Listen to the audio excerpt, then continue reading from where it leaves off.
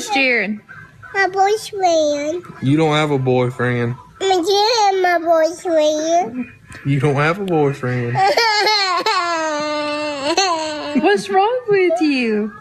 I don't say I don't have a boyfriend. But you do have a boyfriend? Uh-huh. What's his name? Jared. You don't have a boyfriend. I do. You're not allowed to have a boyfriend till you're 50. No.